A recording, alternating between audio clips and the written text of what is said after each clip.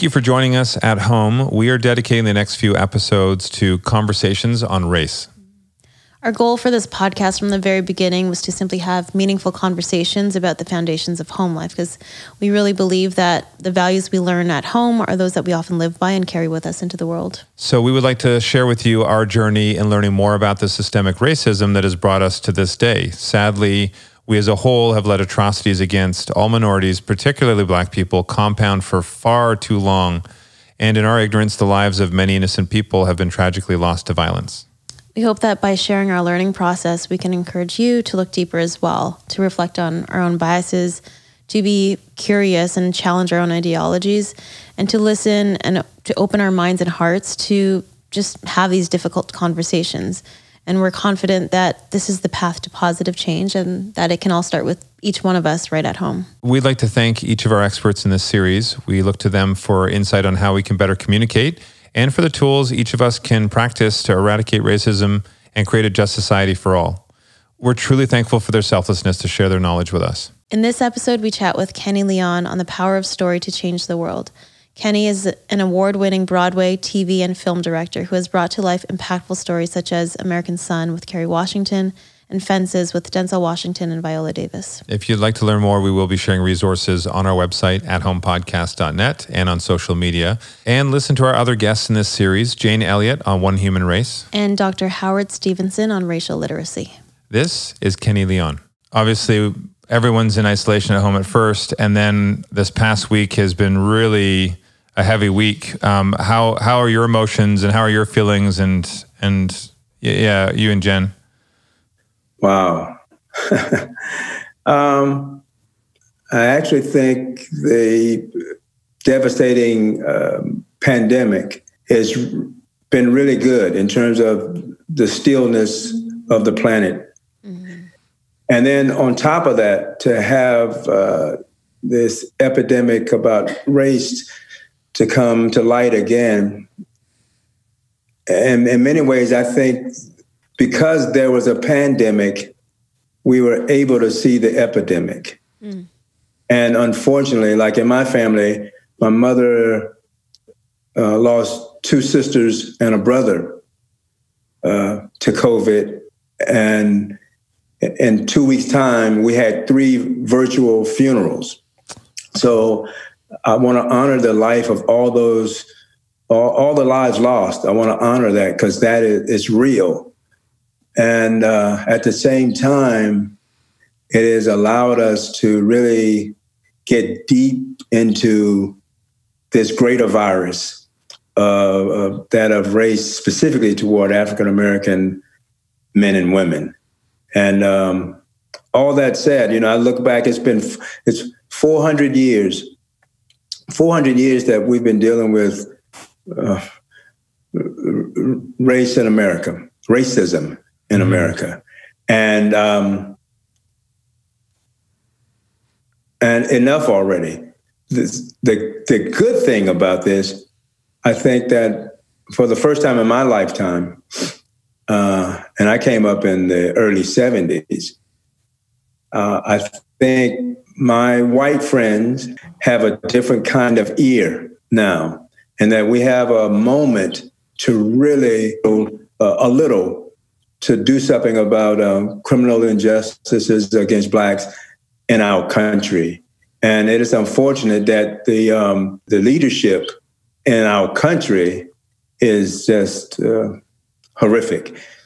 But uh, I think that the goodwill and the good heart and the good souls of people will point us uh, in a better direction. Mm-hmm. And I'm hope I'm hopeful that this this is a great moment well worth the lives lost in the uh, racial injustice movement and well worth the lives lost during COVID 19. There are so many people that this is really sort of an awakening of, of people understanding that the they need to communicate. People need to speak their voices. You know, people of, of the black community as well as um, ourselves and, and everybody else who are supporting change and eradicating this racial injustice Um, but I think what I really love that I'm seeing on social media is that so many people are understanding that one of the first things that we need to do is look to leaders, uh, educators who understand racial literacy, who understand how to communicate this change um, in a way that will actually step us all forward. Mm-hmm. And people like yourselves, Kenny, who who use your platform day in and day out to tell these stories that need to be heard. So, are you able to tell our listeners about what you do? Yeah, you know, it's, it's interesting. I got a call today from uh, an African American lawyer of a big corporation. And she just called to say, I want to thank you, Kenny Leon. And I said, Well, what do you mean? We're all going through the same things and it's horrible.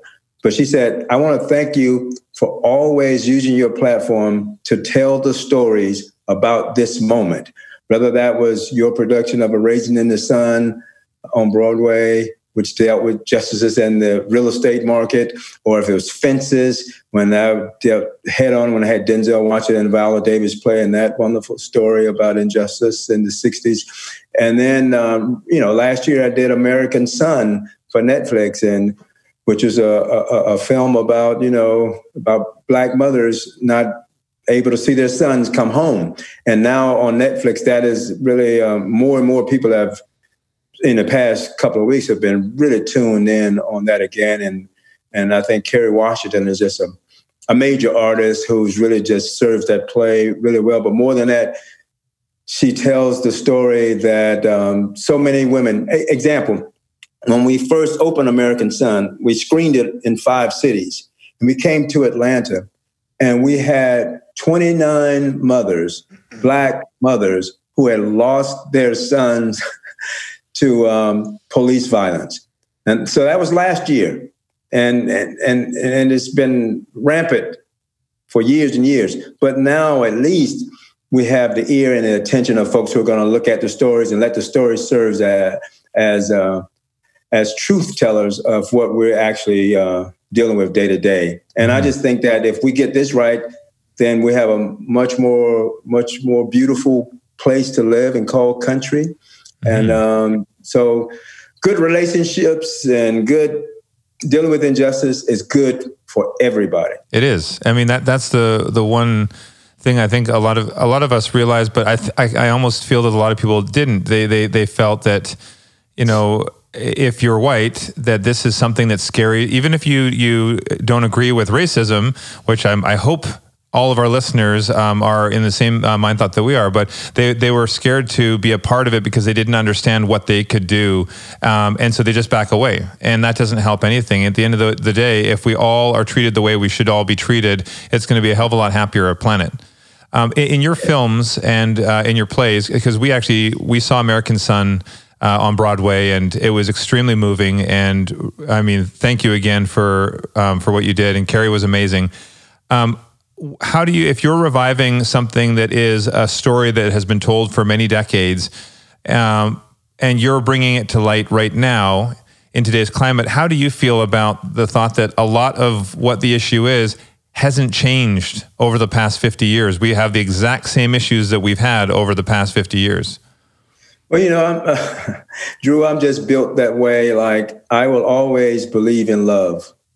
I have no other option I, I, just I just do. And so when the pandemic hit, I was I had a play on Broadway uh, entitled A Soldier's Play, which dealt with injustices in our military.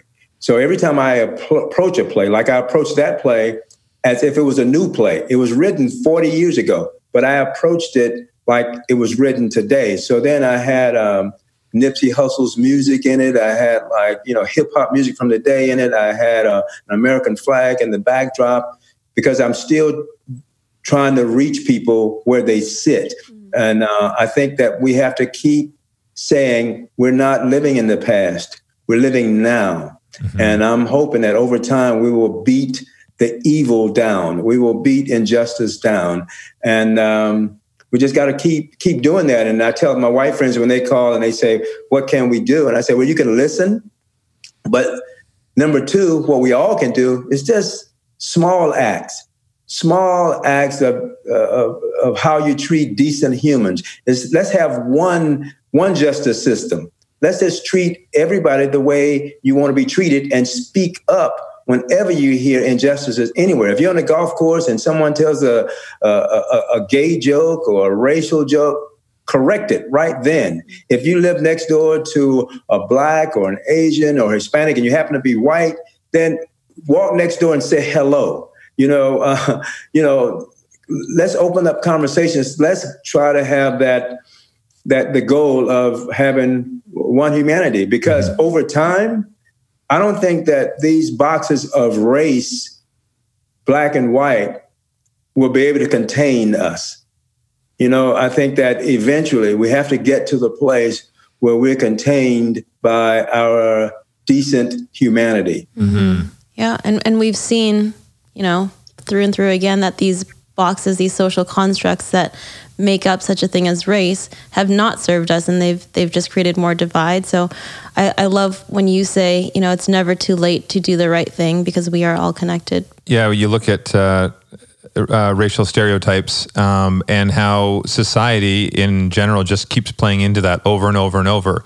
And something that has really frustrated uh, me to see is when, you think of people say, well, I mean, look at the black community and look at our prisons. The majority of people in prison, it's the, uh, are, are of the black community. Well, why is that? And that's because of the way that people have been stereotyping for so many years and targeting the black community for crimes or petty crimes that shouldn't be something that people are going away for 10, 20 years for. And that's just how the, the justice system was built up to create revenue out of the prison system. And so, um, in your mind, when you look at something like that, where you have been, uh, the black community have been targeted for so many years, how how do you, when something has been reinforced and reinforced for so many years, um, how do you break into that slow and steady to change that viewpoint from all these people that have been just used to this? Well, honestly. um, over my 60 years, what happens is, I, I remember when I first got into entertainment, and my mother said, if you're going to be in this industry, you either have to be a snake or a snake charmer. And I was like, I'm not a snake.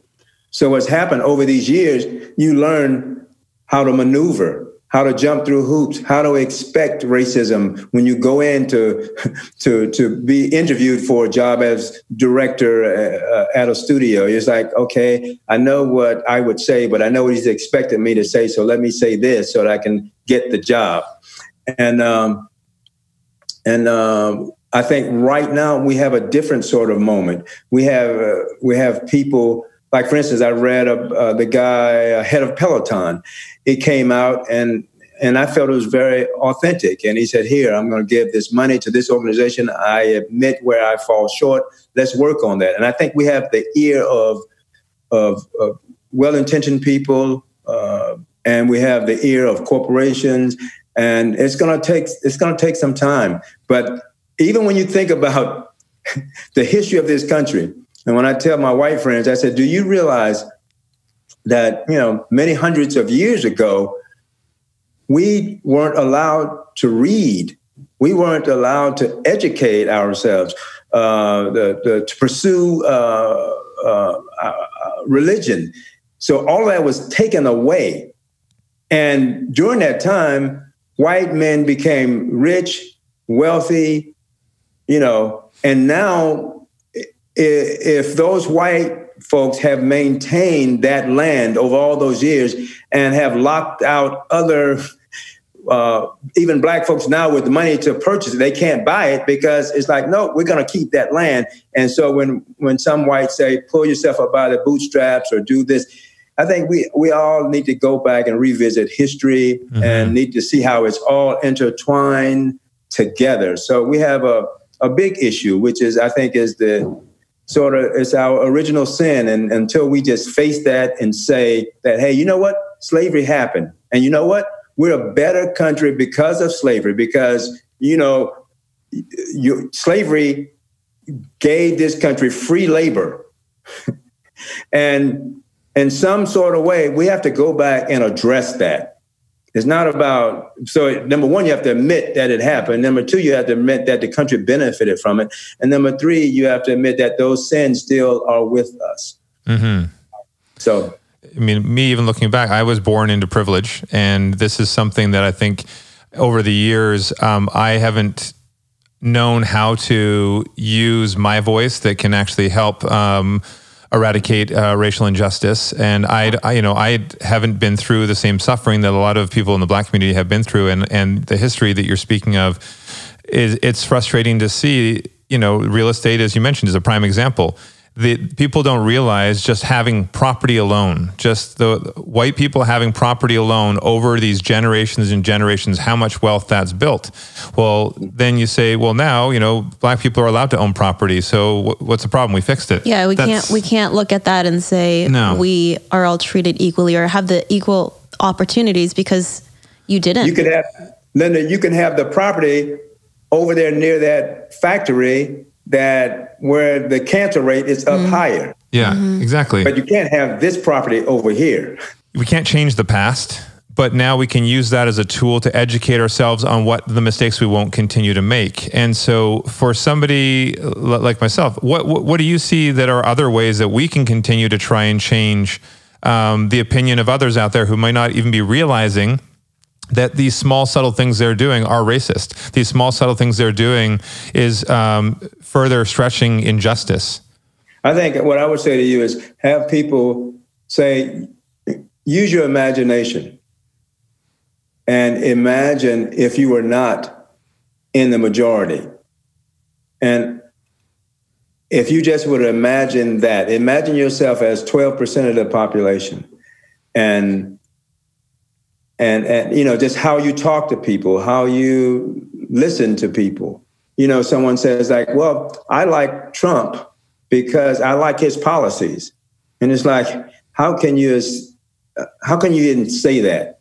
Because we have to look at our our country and our planet as um, as one. So the gap between the haves and the have nots have grown. So we have to really look at the um, the big picture. I was talking to another friend about just the idea about the census coming up, and and and you know now is it, it's been extended to October fifteenth, which is great. I think that's the date. Mm. But so many of us are not doing what we need to do to be counted, and whatever happens in 2020 will be with us for. Um, for the next 10 years. Mm-hmm. That includes how money flows into our schools, um, our neighborhoods. Um, so I would just encourage all of our friends to look at the big picture. Just take time to think of everybody. What if you were not in the majority? What what if you did not live in your big house on the good side of town? What if? And just try to imagine that world from another person's uh, eyes. And that's what great filmmaking great plays and great stories do. They let us look at the world through someone else's eyes. Mm-hmm. And if we would just do that, I think we would learn an incredible lot. So I'm just asking everybody to listen and to look and to use your uh, to use Netflix and, and, and YouTube and all of our platforms for storytelling and look at it through someone else's eyes and really apply that to your worldview. Mm-hmm. Mm-hmm. Can you talk about the responsibility of those in the the film and entertainment industry to to use this platform as you know a way to change the narrative and tell the stories that matter? Then I think it's almost impossible. I, I say to people, if you're the if you're art, into art and entertainment, if you're the same artist after this pandemic and after the killing of innocent black people. And after all the marches and all the stuff we're going through now, if you're the same human being uh, uh, or the same artist after that, then you haven't learned anything mm. because we've changed. We've changed forever. It's like, oh wow, how does this time find itself in my future stories? You know what I mean? How can uh, you know? Um, how can you not write about our, our connectedness to each other as human beings? How can you not write about racism and injustice whenever you see it? And and and, and not all stories should preach, you know, because the, the, the first part of the word entertainment is enter. So there should be a door for mm. all to enter. you know, to to to be changed, to be to be a better human being. So I think that storytelling, which has been with us for since the very beginning, can sort of help us get through some of these our ideas about mm-hmm. uh, injustice. And, and I've I've seen you know there are people who who write about you know fear that if we get too real with film and TV or um, or uh, in theater, and we take these issues of today and the issues of the past and we showcase it um, in too real a way that it's very scary for people to see and that they feel that that could be a negative um, I mean, I think that it, I think it's important for us to see the truth of what's out there, and then people will start to open up their eyes to these issues. What, what's your thought? You know, if you tell everybody's story, or the more stories you tell from a varied group of people, you know, the, the, the, more you're going to touch people's lives. But on top of that, the more money you're going to make as a business model. So yeah. if you just want to talk business, why it is it is advantageous to tell everybody's story. I just wanted to go back to American Son. I remember how we felt when we were sitting in that theater, and it was you're right. It was hard to sit through uh, because there was so much quiet uh, mm. and and uncertainty from the mother's point of view. Um, but to that point, because it was such a, it is such a violent context, but it's important to not always glorify the violence and tell the deeper stories. And I think that's exactly what you did. That made us understand her pain and and the deeper. The, the deeper prejudices that that lie, you know, in, in the news clips that we see, we often don't see the the enduring pain that the families go through. Right. You know, one thing I always tell folks, the great August Wilson said this to me when he was alive. He said, Kenny, sometimes you have to understand that we're the filler. It's like sometimes we think of the commercials as the filler, but no, in our country, sometimes we're the filler. So uh, if you look at, for instance, if you look at the news, it would be great if the news just gave us the news. But many times it's about selling soap powder and cars. So it's like, how do we keep these people here? So, oh, we just we'll just call it breaking news mm-hmm. for 24 hours, mm-hmm. and we're just gonna we're gonna highlight on not on the the protesters that are peacefully marching. We're gonna focus on those 10 people over here in the corner that's setting a fire to a car. So yes, let's just focus on that. So back to what you said, Drew, it still comes back to money. Even when we present the news, even mm-hmm. when we, you know, you know, create our movies or our plays. I, I, find that's very frustrating as well when you look at the news specifically, and there there are messages out there that uh, people speaking up, using their voices, and it, it's important to hear. Yet then they'll cut away and try to tie to that these people who are looting and rioting that actually have nothing to do with this cause about racial justice. It's Correct. just people taking advantage of a situation um, and and for their own personal gains, again, stealing or breaking into stores for their own personal gains. So that that is annoying to see that it clouds the message that needs to be heard for change to come forward. On the on the film side of things and theater side, I mean, you're an amazing award-winning director. You've had a long career working with such huge, amazing talent. Um, for you, when you have a story that has a lot of meaning and it's an important message for people to hear, and you bring in the cast like Denzel Washington uh, or um, Viola Davis or uh, Kerry Washington, um, and then you uh, you work together to bring that message forward. What is that experience like for you when you can come together with other amazing, uh, talented people in the entertainment industry, but together collectively, you're raising awareness of a of a cause that's important to you? There's nothing better. There's nothing better uh, when you believe in the project and the message of what you're uh, putting out into the world, and when you're surrounded by like-minded uh, politically uh, focused human beings. And just to use some of the people that you talked about, you know, I did the mountaintop with Samuel L. Jackson and Angela Bassett. You know, like uh, I know those two people personally, and they want to change the world. And they don't want to use their stories to preach to you. So they still want to be entertain you, but in the course of entertainment, they're trying to say something. Or Denzel and Viola, uh, you know, incredible. You know, I did the story of Tupac Shakur and, and Holler If You Hear Me, and that was a, another opportunity to speak to the community. But sometimes you have to realize as an artist, sometimes the community is not ready for your message, or sometimes uh, you don't have the right audience or the or, the encouraging of the right audience to see your work or the right money behind your your um, your, your your property so that others may see it and appreciate it and and use it in their daily lives. You know, everyone consumes entertainment. How can we support stories and, and makers who are telling these stories? I think um, what the world needs now is just access. You know, um, everybody's story needs to be given a chance or an opportunity to be told. So a lot of these studios and a lot of uh, uh, Broadway organizations they need to diversify just who, who who's making the decisions. You know, if you have a a, a company that portends to say that we are reaching everybody and telling everybody's story, and then you say, "Well, when's the last time that you had an an Asian American story on Broadway?"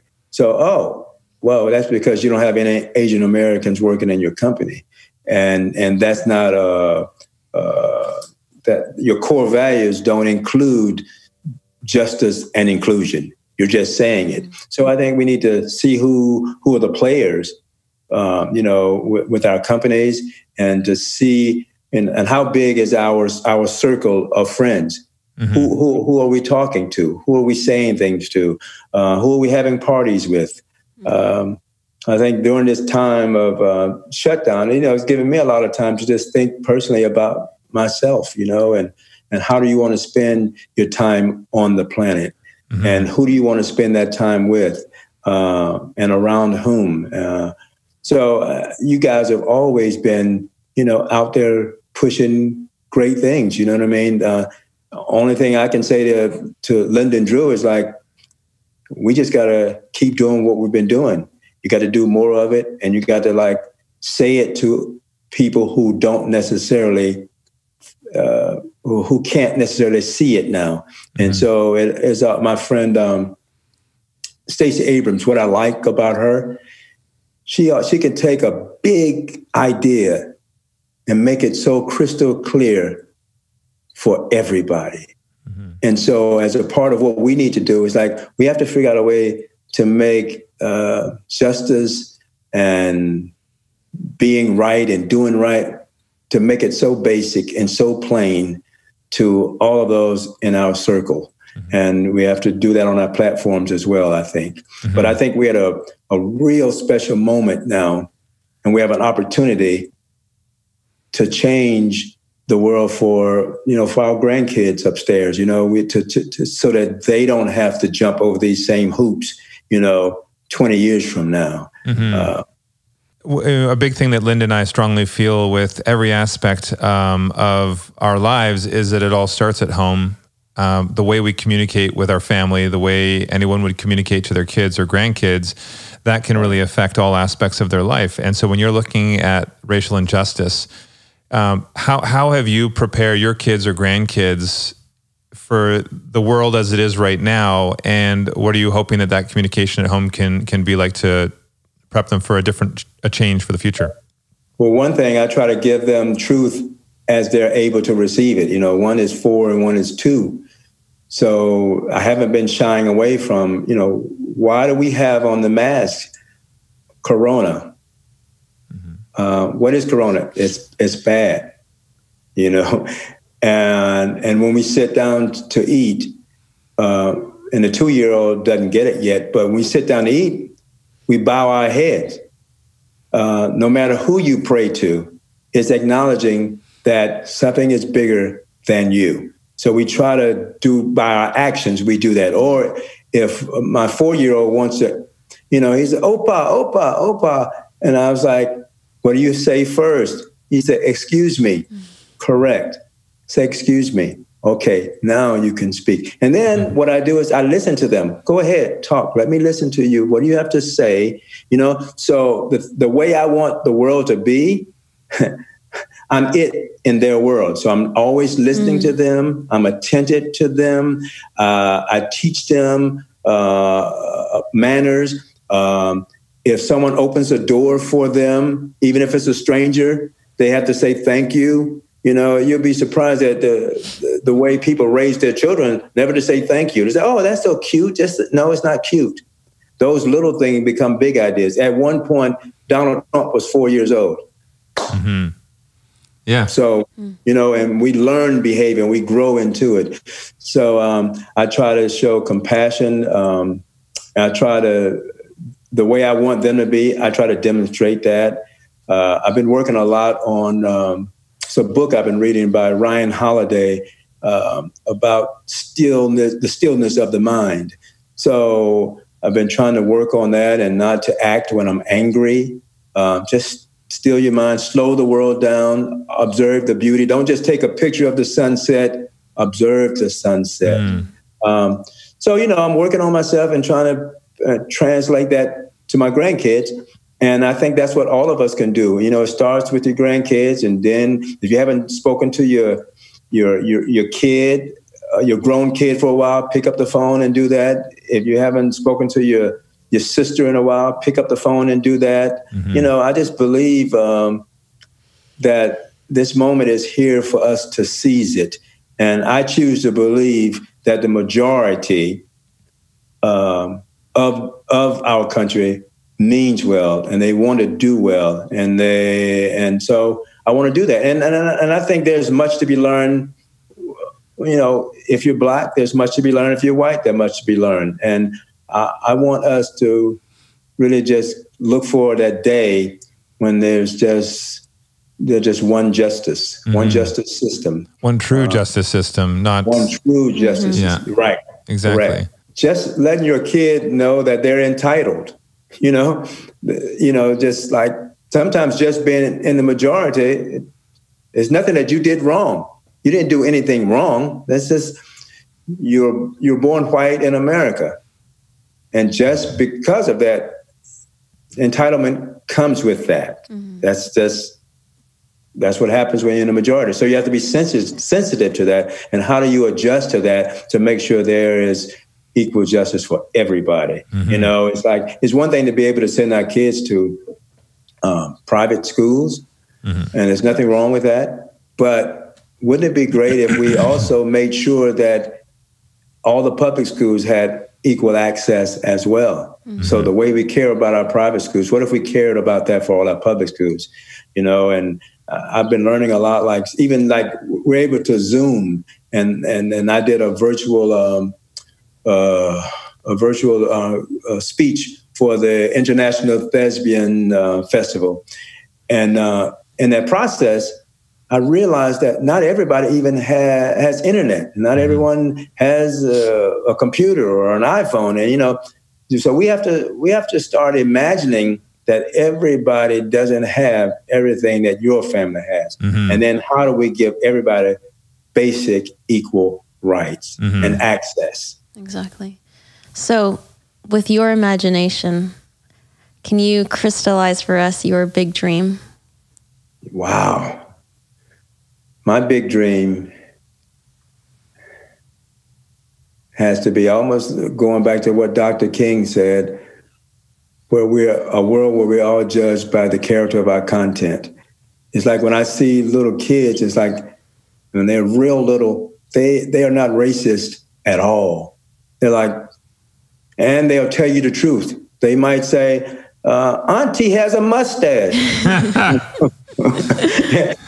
and they might dislike you because you smell or whatever, but they just, you know, the one of the most beautiful images to me is to see a long line of like second graders walking down the street holding hands, regardless of gender, regardless of race. I was like, wow, wouldn't that be great if adults behave that way? Mm. So I guess my dream would be like if, as adults, we held on to our three year old selves. Mm-hmm. Oh, th- that would be a beautiful planet. That would be a, a beautiful place to live. Yeah, that would be great.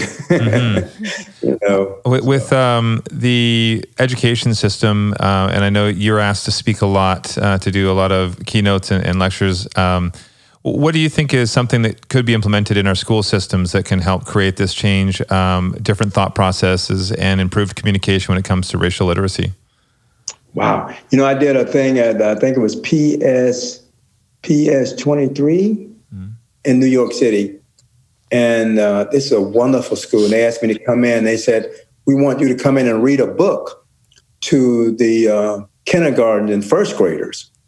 And, I, and in my own prejudice, I'm thinking, like, kindergarten and first grader, that, you know, am I going to be able to hold their attention? He said, Yes, we want you to come in. We want you to talk about what you do. So I came into this classroom. Wow, guys, these kids had uh, read uh, or been read to about theater, about what a director does, uh, about what Broadway is. Um, they they had read or been read to about when I did um, Children of a Lesser God and worked with the deaf community. And some of these kids in this room were deaf or hard of hearing as well. And it just amaze me that this teacher had them studying uh, like uh, stories by the Greeks and they were uh, you know so they were like greek greek mythology. And and now they understood uh, broadway and what i did. And what i realized by that is like the capacity for learning is greater than uh, than we would uh, acknowledge. Mm-hmm. and so i say stop treating our young people like they're lesser our young people are, are, are greater. They could they could get into Shakespeare in first grade. They can mm. get into the great books right now. Other schools like that. There's, there's something called the Speech School in Atlanta, Georgia, where they just treat the kids with respect from you know from pre kindergarten on. And I was like, wow, some kids will never have that. Mm because you know our school system is not set up that way, mm-hmm. and uh, I think we need more compassion in our schools and more more justice and and thinking that anyone in that room, anyone in that community could be president of the United States. Mm-hmm. There are future treat leaders. everyone like that. Mm-hmm. Well, I mean, when you our our whole our society in general could could take a note from those young kids that, that you're talking about that are that were well read, educated, excited, and passionate curious. and curious. I think that's one thing that I would re- I would love to see more of is people who continue to want to learn. They want to always continue to learn, to grow, to be curious, and to have those conversations. I love what you said because that's also what I'm learning during these times. You know, yeah, it's like you know we're dealing with this this injustice issue and we're dealing with the pandemic at the same time, but I'm using this time to grow. Mm-hmm. Mm-hmm. And I was like, wow, when, did, when, when are you going to stop growing, Kenny Leon? As long as I'm on the planet, I want to keep growing. I want to keep learning. You know, Kerry Washington, for instance, taught me a lot just about the the power of the the female voice and how I how I should respect it. And I thought I was respecting it. But she taught me a lot about being female in America. And I was like, wow, as a man, I could learn from that. I can grow from that. And we all can, we can just keep growing. Mm-hmm. How beautiful that would be if we just kept growing. It's it's um, the the thought you know kids are in school that's when they they you know they learn and they grow and then once you're out of school it's time to get serious and get your job and I, f- I feel too many people think that the growing has stopped. You're now just in your work life, and that we we need to break free of that thought. We always need to grow, and you know, young minds are are like sponges, and I think it, it's it's interesting when you see you know that you'll see clips on YouTube or or somebody posting something, and it's you take something like like racial prejudice, and some somebody's trying to explain to a kid you know what that is, and all the kid keeps saying is why. They keep trying to dig more well, why why is the white community more privileged than the black community? And then trying to explain that. But that doesn't make sense to the kids. But why? We're all the same. And I think there's so much that we can learn from these little kids because they're not they're not clouded by the misinformation and communication out yeah. there. And we have to stop just accepting what our ancestors passed down.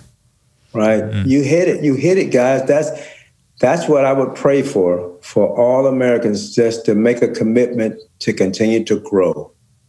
Yeah. That's not too much to ask. If we just said, okay, everybody, let's just grow. That's, that's a core value. Let's keep growing. Let's keep learning. Let's keep, the more we grow, the more we would respect each other. The next and, I see you in person, we are going to all walk down the street holding hands together and smiling. Oh, we can't wait to see to you guys again. Look, well, we look forward to getting with you guys again and keep doing the hard work. We appreciate you. We love you, respect you, and uh, thanks for being our brother and sister. Thank, Thank you so you. much, Kenny. We love you.